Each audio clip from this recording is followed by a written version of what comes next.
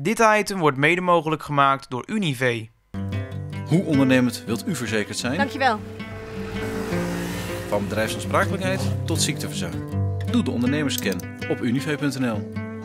Na drie nederlagen op rij won Flevo Boys afgelopen zaterdag eindelijk weer een wedstrijd. Hier in Emmeloord werd met 3-0 gewonnen van het gedegradeerde WVF. En die overwinning gaf natuurlijk lucht. Bij verlies van de concurrenten zouden de Emmeloorders zelfs veilig kunnen zijn.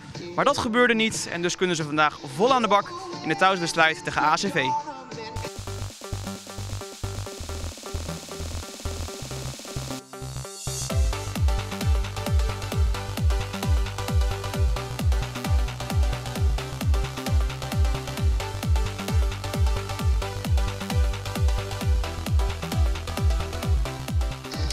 Zo sta je in de top en zo ben je twee speelrondes voor het einde van de competitie nog niet veilig. Het is het verhaal van Flevo Boys in het huidige voetbalseizoen. Vandaag moet er gewonnen worden van ACV en die ploeg verloor afgelopen week van Urk en werd midweeks uit de beker geknikt door Harkemaase Boys. Maar werkt die wetenschap juist prikkelend voor Flevo Boys of voor de tegenstander van vandaag, ACV?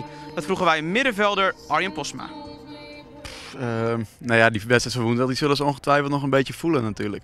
Dus als wij er bovenop zitten, dan, uh, dan denk ik dat hun uh, conditioneel aan het einde van de wedstrijd dat je daar je voordeel mee kan doen. Uh, andere kant, ze hebben na competitie, daar willen ze wel met een beetje een goed gevoel heen. En ik hoor dat ze volgende week spelers gaan sparen, maar vandaag niet. Dus ze zullen vandaag wel alles op de winst gooien. Vandaag ACV dus volle bak hier. Ehm, vorige week wonnen jullie eindelijk weer eens een keer een wedstrijd, 3-0 tegen WVF. Hoeveel vertrouwen heeft dat jullie gegeven? Wat, wat proeft u op trainingen bijvoorbeeld afgelopen week? Nou, het was in ieder geval een hele opluchting. Uh, en er weer wat, uh, wat blije gezichten waren. Want vorige week, die weken ervoor natuurlijk, stond er wel aardig, kwam, kwam er aardig druk op te staan. Nou ja, dan, dan is het plezier een beetje weg en je krijgt wat meer irritaties. dat soort dingen. En na WVF moet ik zeggen, toe hebben we wel heel goed getraind ook. En die wedstrijd is ook prima opgepakt. En ja, gelukkig win je. Dat was me goed ook achteraf, want alle concurrentie onder ons dat won. Dus dat was gewoon een opluchting. En dan zie je van de, van de week op training gewoon dat, dat er wat meer gelachen wordt. En uh, ja, wat, wat ontspannender allemaal. Jullie zijn nog niet veilig officieel, maar hoe gek moet het eigenlijk lopen? Ja, heel gek. Normaal gesproken ben je gewoon veilig natuurlijk. Maar het zou lekker zijn uh, om dat op eigen kracht te doen. Dus vandaag gewoon, uh, gewoon te winnen. Het publiek niet heel erg verwend na de winterstop. Op een enkele, enkele wedstrijd na misschien. Dus het zou leuk zijn als we die laatste twee wedstrijden nog iets kunnen laten zien. Voor Flevoboy stelt vandaag dus maar één ding. En dat is een driepunter in de laatste thuiswedstrijd van het seizoen tegen ACV. En in het begin van de wedstrijd maakt Roetny Roosink hier hens. En dus komt er een vrije trap voor ACV. Op een interessante positie. Bal wordt met het hakje afgelegd op Jelle Wagenaar. En die bal is natuurlijk onhoudbaar voor Rodney Roosink. Een goede pegel van Wagenaar. En zo staat het 0-1 voor de bezoekers. In de eerste helft hadden beide ploegen moeite het gaatje te vinden. Echte kansen waren spaarzaam. Op slag van rust komt er hier nog wel eentje voor ACV. Goed schot. Maar een nog veel mooiere redding van Rodney Roosink. En zo is 0-1 de ruststand. Begin van de tweede helft is dit Nijboer. Met de bal op Jarno van der Wal. Mooi weggekapt en de poging en een goal. En wat voor een. Jarno van der Wal. Hij kapt zijn tegenstander hieruit. Aloui. En die heeft het nakijken. Net als de keeper. En wat brengt hij zijn ploeg dan op een fraaie wijze terug in de wedstrijd? Niet veel minuten is dit Nijboer. 1 2 met Van der Wal. En Van der Wal krijgt hem hier terug bij de tweede paal. En twee minuten na zijn eerste goal is hier ook zijn tweede. De man die een kleine twee jaar lang kampte met veel blessureleed. En wat zal dit hem goed doen? Niet veel minuten erna. Is dit een overtreding van Arjen Bergsma? Hij raakt de bal niet, maar wel de benen van de directe tegenstander. En er is een buitenkansje voor Robin Mulder. Een penalty en dan staat het nu 2 tegen 2. Flevo Boys wisselt. Arjen Spaan verlaat het veld. En voor hem komt Frank Post. Mooie beweging van Pala. Stuurt Aran Nijboer weg. Die is op de brommer. Ziet bij de tweede paal Frank Post zojuist ingevallen. En zie de ontlading op de bank. Aranijboer met een prachtige paas naar Frank Post. Hij gaf eerder al zo'n gelijke bal op Jarno van der Wal. Acht minuten voor het einde van de wedstrijd komt er nog een vrije trap voor ACV. Heel veel kans kregen de Assenaren niet in die tweede helft, maar hier valt wel het doelpunt. Efficiënt is het zeker. Verdiend? Mwah, niet echt.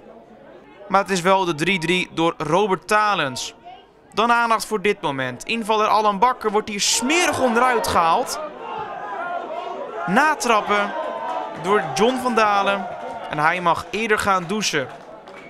ACV, het pakte een periodetitel, gaat deelnemen aan de nacompetitie. Maar deze John Dalen zal hoogstwaarschijnlijk een aantal van die wedstrijden moeten missen. Kan het dan nog voor Flevo Boys? Tegen 10 man uit Assen. Valt die bal nu wel eens een keer goed? Nu valt hij wel een keer goed. Invaller Frank Post met zijn tweede treffer van de middag. En dan zit het dus eindelijk ook weer een keer mee voor Flevo Boys. En handhaven de Emmeloorders zich in de hoofdklasse C. Wiljan, ik weet dat jij van spektakel houdt, maar zit niet een beetje te veel van het goede? Nou, het hart zit me nog steeds in de keel. Maar uh, meer van blijdschap dan van, uh, dan van spanning, uh, denk ik nu. En wat een knotsgekke wedstrijd zeg. Ja, het was een vreemde wedstrijd. Het was, het was een, een, wedstrijd waar spanning op zat natuurlijk. Uiteindelijk toch wel weer. Maar, maar, het waren zeven goals en dat is, dat is waarvoor het publiek naar, naar het sportpark komt. Wat zegt het over jullie als ploeg? Dat jullie in een moeilijke fase toch dit op kunnen brengen? Drie tegen, maar ook vier kunnen scoren. Ja, goed, wij we zijn gewoon een hecht team met, met elkaar. En, en, en we weten dat, dat we op dit moment waar we staan, dat dat niet uh, is waar we horen te staan. Maar, maar ja, goed, daar kunnen we nu niks meer aan veranderen. We willen zo snel mogelijk veilig en uh, dat zijn we nu. En uh, ja, we hebben het publiek ook nog een mooie, mooie wedstrijd laten zien, denk ik. Jij komt terug van zwaar blessureleed en bent vandaag bijzonder belangrijk voor je ploeg. Hoe lekker is het voor jou? Ja, het is natuurlijk heerlijk. Uh, anderhalf jaar niet, uh, niet uh, gevoetbald. Vor, vorige week belangrijk geweest voor de ploeg. Nu weer. Het is heerlijk natuurlijk. Wat doet het met jou? Ehm, ja, gewoon le lekker gevoel natuurlijk. Gewoon blij dat ik weer, weer een potje, potje kan ballen. Dat is gewoon het lekkerst. Ja, en dan kijken we even naar de man naast je. Die valt vandaag in. ook bijzonder belangrijk. Hoe lekker is het voor jou om zo in te mogen vallen? Nou, dat zei ik net ook voor de andere camera. Je valt vaak in en dan dan moet je echt geluk hebben dat iets goed valt. En uh, deze keer uh, viel het geluk mijn kant op, gelukkig. Onze kant. Dochter ook trots op je? Ben je trots op me? Hé? Hey? Hallo? Hallo? Kijk eens, kijk eens. Ben je trots op me? Oeh, weet je, nee, maar uh, ja, we hebben een goede pot gespeeld. En ik denk dat we trots op elkaar kunnen zijn. En, en ja, kunnen we het seizoen nog goed afsluiten, denk ik. Als je volgende week nog een goed resultaat neerzet, dan helemaal. Maar ik denk dat nu ja, we hebben het recht getrokken, het, mindere gedeelte in dit seizoen. En daar moeten we van leren. En volgend jaar beginnen we lekker weer op nul punten. En dan moeten we denk ik toch weer bovenin mee gaan draaien. En dat gaan we zeker doen. Ik proef een beetje de, de ontlading. die is er wel degelijk, hè? Ja, zeker. Ik bedoel, we hebben hiervoor zes, zes wedstrijden verloren, geloof ik. Of drie, drie, maar drie punten gepakt. Als je dan nu twee keer wint en je bent veilig, is natuurlijk heerlijk. Hoe gaat dit gevierd worden? Uh, ik denk dat er wel, barbecue. wel barbecue inderdaad. Uh, we, krijgen, we hebben een barbecue en uh, ik denk dat we straks al een paar, paar biertjes naar binnen gaan werken. Frank niet, Frank die drinkt niet, dus cola. Cola. cola. Cola, ik moet er terugrijden. Anderhalf jaar lang sukkelde Jarno van der Wal met blessureleed. Maar mede dankzij zijn twee treffers wint Flevo Boys in een zeer spectaculair duel met 4-3 van ACV. En door deze overwinning zijn de Emmeloorders ook zeker van de plek in de hoofdklasse voor het komende seizoen. Aankomende week speelt Flevo Boys nog de uitwedstrijd bij Harkemaanse Boys. De thuisploeg kan kampioen worden. Flevo Boys kan nog een plek stijgen op de ranglijst. En dus wordt het nog een heel aantrekkelijk duel daar in Harkema. Met dit item hebben wij tevens het, het laatste item van Flevo Boys TV in het huidige seizoen bereikt. We komen nog wel een keer bij u terug met een terugblik over alles van het huidige seizoen. Maar voor nu dank ik u alvast voor het kijken naar Flevo Boys TV.